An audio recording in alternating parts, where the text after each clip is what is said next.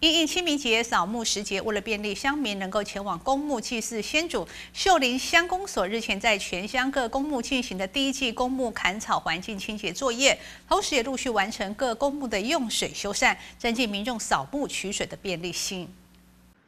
秀林乡长王贵表示，山中追远缅怀祖先是乡亲的传统美德，秀林乡公所秉持着便民便利的服务。并且在清明节之前，在全乡十六个公墓进行环境清洁以及自来水设施修缮工作，提供乡亲整洁便利的环境，让乡亲有个快乐以及安全的清明假期。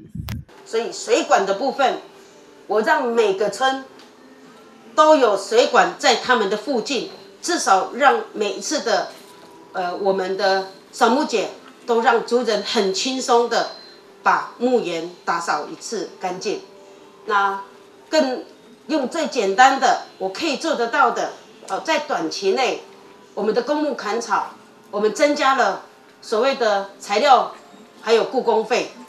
所以也要感谢我们所有的村长，呃，公所这样的一个策略下去，村长都能够呃协助公所来推动这样的工作，所以在第一时间让人民有感。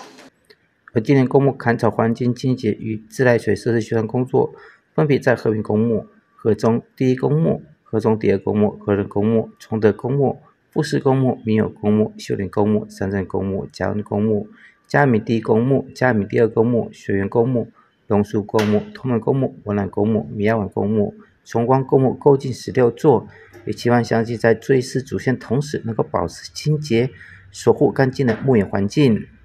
记得中文学先我了。